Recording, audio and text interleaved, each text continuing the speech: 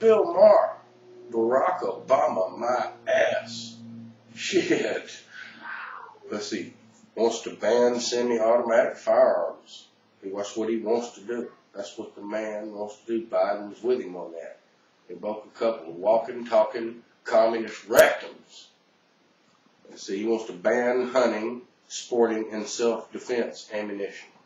He wants to ban magazines holding more than 10 rounds.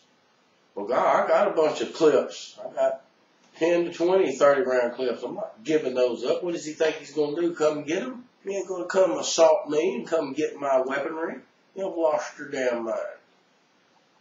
Barack Obama, you've lost your mind. And Bill Maher, you've lost your mind. You're an idiot communist. You just you're trying to, you're trying to screw up America. See, impose a waiting period on handgun sales. You know, how long will wait, wait, and wait, and wait.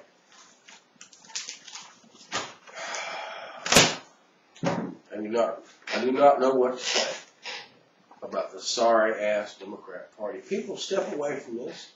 What has has come to America when we're willing to look like the stupid ass nations over there, like Canada and France and Russia and China. Those are our enemies. We don't want to idolize them.